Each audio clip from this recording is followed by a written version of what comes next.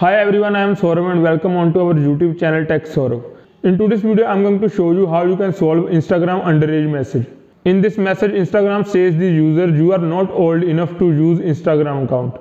To solve this problem, if you never subscribe our channel, just subscribe must the channel and press the bell notification on all for the latest update from our channel. So without any delay, let's start our today's video. So friends, most of the people get this type of message onto your Instagram app when you open your Instagram. That says you are not old enough to use Instagram.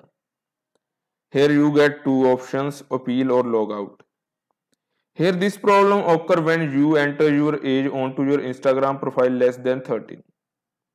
Here many users have their Instagram pages that got same issue. Here what you have to do, you have to simply click on appeal button. After that a page open into a browser. Here you have to enter some details into that page. But if you are using a page or a profile where person's age is less than 13 then you have to enter your parents detail or any elder's detail. Yeah that is the last method to get back your Instagram account. Here you have to enter your any elder's name or upload their date of birth proof.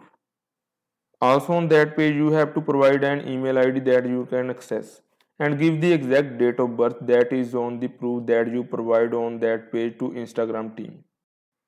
After that you have to click on OK. After Instagram team verification you are able to access your Instagram account.